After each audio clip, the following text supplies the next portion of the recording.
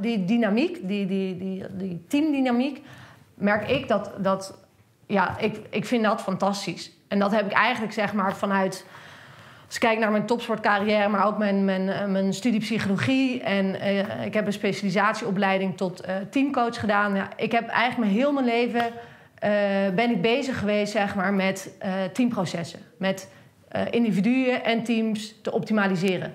Om het beste uit elk individu te halen, maar ook uit het team. En wat is daarvoor nodig? In welke fase zit het team? Uh, wat, wat, wat, hebben ze nodig om, om, uh, om, om zich veilig te voelen? Om, om zich durven uit te spreken?